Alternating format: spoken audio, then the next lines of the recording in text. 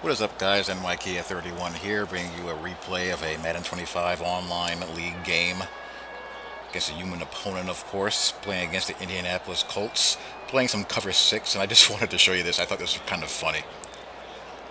Playing cover 6 at a 4-3. A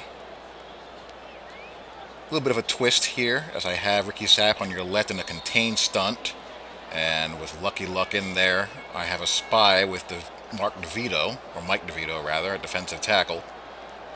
He's at with a contained stunt. DeVito spying, a little bit of a mush rush going on on the left side and on the right side to your right.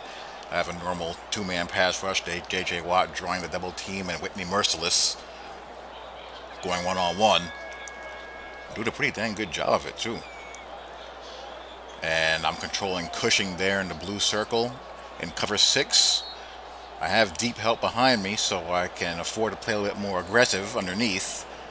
I have another linebacker going into a hook, and I have uh, three deep. Got a hard jam going on on the right-hand side with a deep safety rotating. Sherrod Martin is also on the other side.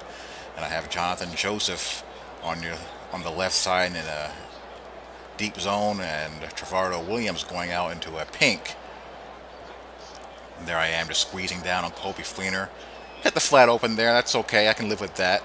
But he doesn't go to the flat. He wants to go down the field, or he decides to go down the field. I forgot what down this was. But you see the flat is there, is there open. You know, we're going to give up something.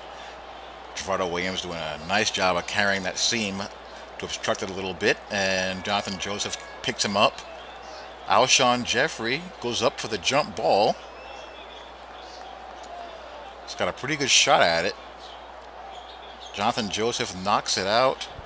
And Sherrod Martin, Mr. Johnny on the spot here in this case, it goes doink off of his helmet. Jeffery got hit pretty good there. Doink, and he's able to still make the INT. That's a first for me in this game.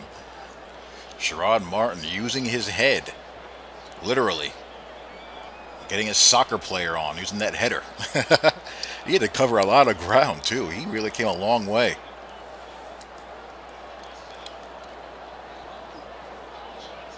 There he is. That's where he started out from, and he just gets on his horse. And after the deflection off the helmet makes the INT. I just thought that was kind of humorous. Got a little chuckle out of that.